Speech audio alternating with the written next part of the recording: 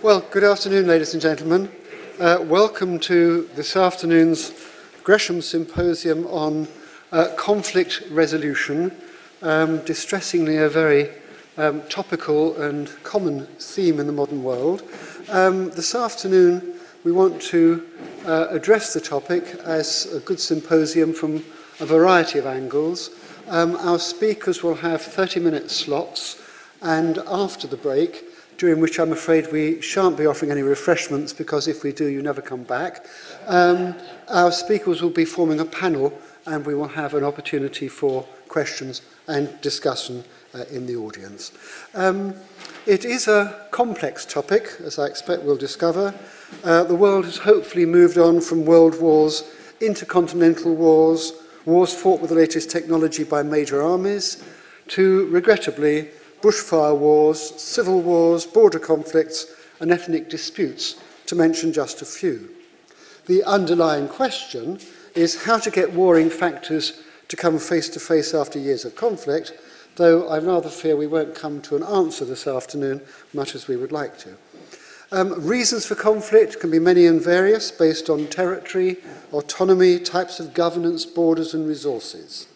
Historic grievances, colonial legacies, ethnic differences can all play their part, and at times it's hard for the uninformed outsider to understand quite what the undercurrents are and why differences can cause such friction, suspicion, animosity, and downright hostility.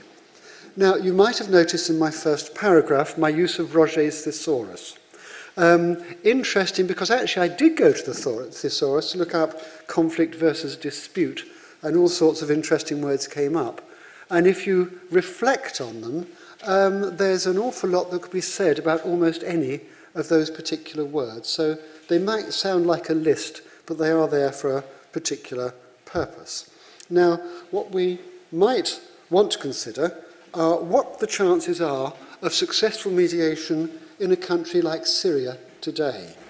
Whether a civil administration can ever be able to take charge of uh, Congo, Uh, can Somalia, Congo, hmm, can Somalia ever be brought back into the international fold? And what are the chances for the Afghan government when Western forces retire? Speculation is fruitless, forward planning may fail. However, it's not really possible to come to any conclusion while the conflicts are ongoing, and it might take more than one go over a lengthy period of time before a viable, long-term solution can be put in place. The deep-rooted nature and undying hostility caused by civil war may, however, be studied from a historical perspective, and the benefit of hindsight if we look at the case of Spain. Now, one reason why I do this is I check to make sure that none of the other speakers are going to talk about Spain. Because at one symposium, I enthusiastically said all the things I wanted to say about the subject, and the key speaker then stood up and said, as Professor Connell has just said, And she prefaced every remark with, as Professor Connell reminded us, and as Professor Connell very aptly said, so I'm going somewhere completely different. Spain, 1936, fairly advanced European country, schools, hospitals, prestigious and ancient universities. The government wasn't in the hands of dissident tribesmen. The country had not been afflicted by years of drought or plagued by natural disaster. And yet, the hatred was never far below the surface. I sometimes rather fear it's almost latent to this day. And the outbreak of war was marked by atrocities which were committed by both sides. The war went on for three years, but it's only recently we've heard of the enormous number of massacres which took place, perpetrated largely by the forces of General Franco, we know now as a deliberate policy, but the Republicans were far from innocent in this respect. Um, a map of Spain and the different dots indicate mass graves which have been discovered in recent years. I say discovered because, in fact, most of these have been reported by um, people who lived through the Civil War years and the aftermath. Um, tremendous desire on the part of people to tell the truth before it was too late, and also modern DNA techniques succeeded in identifying quite a lot of the remains. Now, the present centre-right government has withdrawn financial support for this particular project, and an act passed by the previous socialist government called the Historic Memory Law, which was an attempt to recognize the, recognize the events of the war years, has um, gone into uh, abeyance. It was controversial because it challenged the so-called Pacto de Olvido, the agreement on both sides after Franco died that nobody would inquire too much into what anybody else had done. And since it's quite clear now that both sides had very blooded hands, that probably suited people at the time because there was an amnesty law passed in 1977 and which in fact is um, still in force today. Um, this event, I think, is an interesting contrast to the attempts and peace and reconciliation which we've seen elsewhere, led particularly perhaps in South Africa by Desmond Tutu and others. Now, some idea of the feeling of terror engendered by civil war, again coming from Spain, are the topos. A topo in Spanish, as you all well know, is a mole. And these are the people who hid in attics, outhouses, caves, anywhere where they thought they might be safe for anything up to 40 years. A lot of them, and we're talking about dozens, didn't come out because they didn't believe that Franco had died. Some people didn't believe that the old sod could die, actually, but that's another story. And it wasn't until the first democratic elections took place in 1977 that these people actually came out into the open. Now, what is it that makes you hide for nearly 40 years? That's a whole lifetime.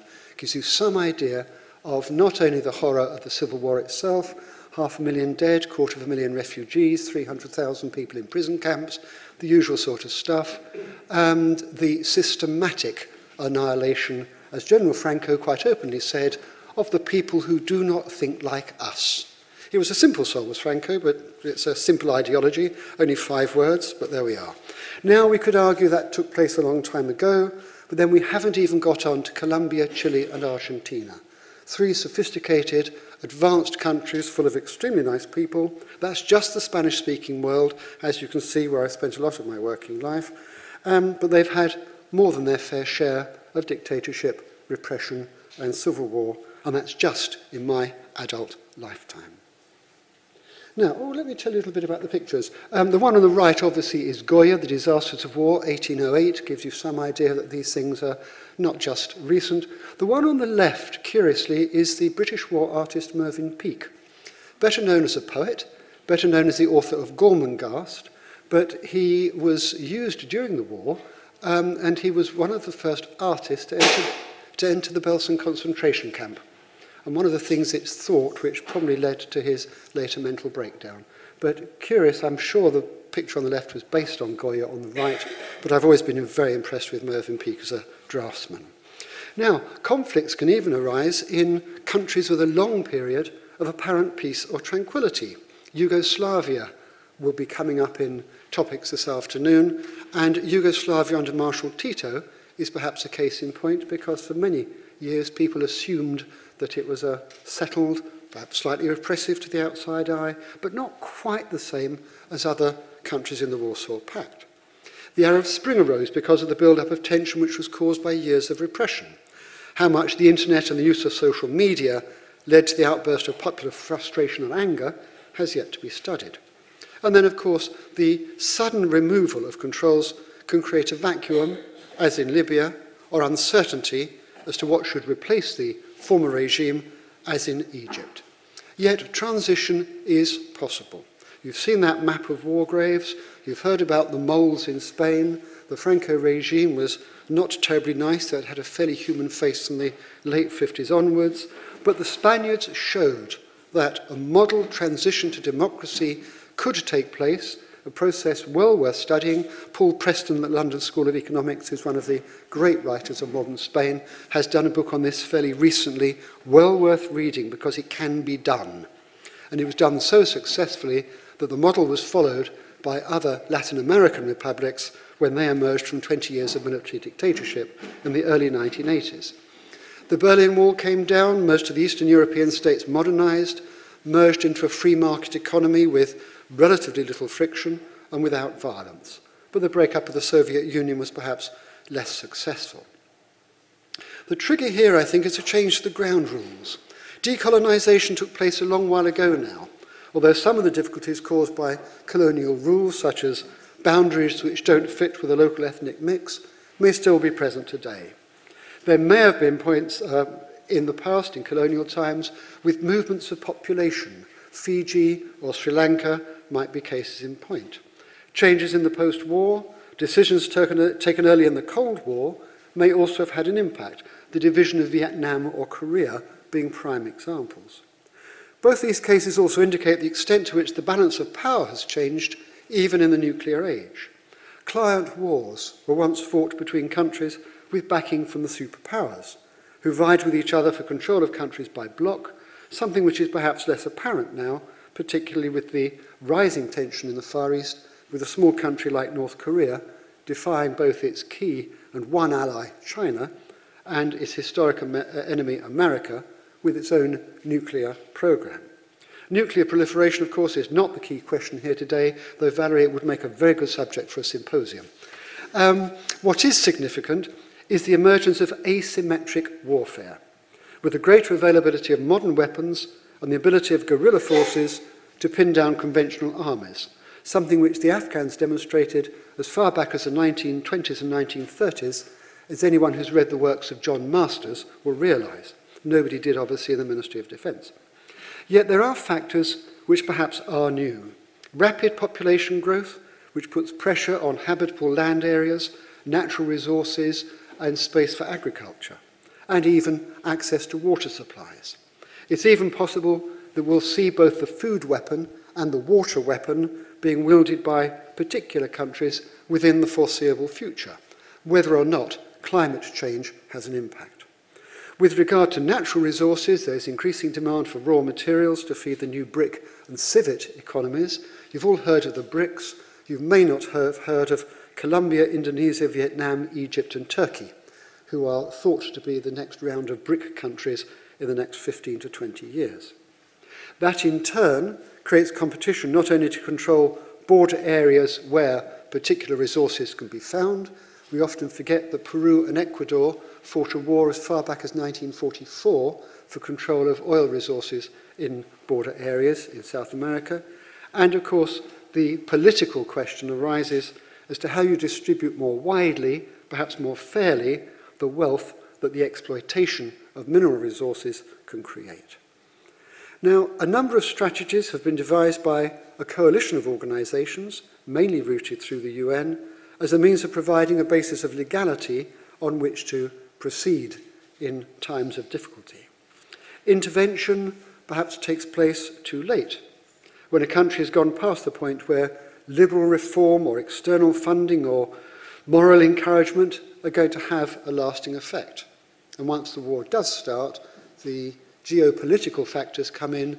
Libya having a long coastline and within fairly easy distance of NATO bases in Italy was a possible case for intervention. Syria, I think, must be seen as a nightmare for military planners as far as uh, intervention is concerned. We go back, of course, to the case of Spain, where Germany and Italy uh, were intervening very directly on the part of the nationalists, and to a lesser extent, Russia on the part of the Republicans. Um, and of course, Britain and France, to their eternal discredit, um, followed a line of non-intervention and appeasement. Whether anything could have been done to stop the war given the size of Spain. General Wellington said in the Peninsular War it was a good country to lose a whole army in. Of course, the French did just that. But um, these things have to be taken into consideration. All too often, lawlessness has emerged with militant extremist factions or a criminalized political economy, where the wrong people get in charge of the resources and then you have great difficulty re-establishing an economy on which to base your society. And corruption and violence may well become endemic. When relief is sent in, it may require military cover to be able to do so. It may have to operate on the basis of fragile agreements with local factions, the so-called warlords, who actually may not have total control over the areas or the groups which they claim to command. So the question emerges as to how you can defeat militarized extremists and institute the rule of law. This may involve moderating political conflict, introducing both a political and an economic system that all sides can support. One difficulty, of course, is identifying, I say all sides, not both sides, because all too often the actual sides aren't entirely evident and there's jockeying for power going on on more than one side. Creating favourable conditions may involve building up working coalitions in order to run a civil administration, which in turn means creating conditions in which non-violent processes can be set up and maintained, at least until normality has returned. There needs to be a common sense of direction, not only among local factions, but also amongst the various external partners, whether these are military, financial, social, or even charitable. And planning needs to be coherent and based on proper partnerships. Mediating conflict may involve getting different groups to withdraw from areas of contention or to areas which they can control and even areas where actually they feel secure. Let's go on to the women and children. On the left-hand side, child soldiers in the Middle East. On the right, a woman in Nicaragua um, running from an air raid back in the time of Somoza, which was the late 1970s. These events, I'm afraid, are not necessarily contemporary. Then, of course, there's a difference between negotiation, reaching agreements, which may be backed by treaties, and with the proper backing of law, and then implementation for the long term. The area of contention might be land reform for one group, the regaining of historical territory for another, access to mineral wealth for yet another. There may not be universal buy-in with groups trying to disrupt the process with tactics ranging from stretching out negotiations needlessly through to launching bombing campaigns. Negotiations or periods of truce can be used illegitimately to regroup rearm, or even start the battle somewhere else. Agreement may not lead to action. Some groups will feel that things have gone too far, and an equal and opposite number will feel that they haven't gone far enough. Mistrust and accusations of cheating may bedevil all sides and damage the effectiveness of new structures. Power sharing could even lead to fragmentation. In Spain, between 1976 and 1978, 700 political parties were legally registered, of which about four actually had any impact in the um, elections in 78 and 1980. Even then, some groups may still feel excluded or may not wish to be included. Former allies held together by a common cause, and this has been seen recently, may fall out or revert to their own individual aims and goals. Recognition of regional rights may lead to fragmentation or even secession and this may in turn lead to ethnic conflict. And the changes taking place may have a knock-on effect in the region, lead to interference by other states, or the withdrawal of support by major powers in the region. Equally, neighbouring countries can become involved directly or indirectly because of pressure on their borders, concern over their own stability, or the vexed issue of the mass movement of refugees desperately trying to get away from the fighting. The case of Syria and Lebanon is worth studying in this context, and I believe that Chatham House has a project on at the moment on this particular topic. But it's a problem common to many countries whose neighbours are little prepared for such an influx of people. Now, a variety of negotiating techniques have been developed in recent years in order to um, arrive at a solution which may be viewed as satisfactory by both sides. It's what Harold Wilson always used to call a package. You put in things that people do want, and in order to get those, you stick in a few things that you know that you want that they don't want, and you hope somehow that this will actually stick. The question then is how to make people accept compromise, accept a lesser deal in one area for something better in another, and then how to make it all stick. This crosses over into nation building, or rather the rebuilding of failed states with a proper system of government. I think this is a major topic facing the world in probably the next 10 to 20 years. Every time you think you've sorted out one country, another one seems to um, tip over the edge. Um, I notice in the university system that more and more degree courses seem to be emerging um, with regard to sort of management of crisis and how to get yourself out of these awful situations. And hopefully, certainly I've been very impressed with the um, reading the transcript of these available after the lecture. Um, I was very impressed particularly with the range of books that have come out in the last three to five years under the generic heading of conflict resolution, looking at concrete examples, and in particular, looking at the agencies, the organisations which have been on the ground down at the sharp end, looking particularly at the Balkans actually over a period of 20, 25 years and saying what did we get right, what did we get wrong, can we develop a blueprint for next time? And um, on the one hand, I found it very positive to see that there were so many people um, working at a very high level and coming up with very positive suggestions. But of course, it's a matter of time as to whether these may be seen as solutions, which of course we all hope will eventually be found. So nation building, rebuilding failed states, having a proper system, I mean, doesn't it sound trite?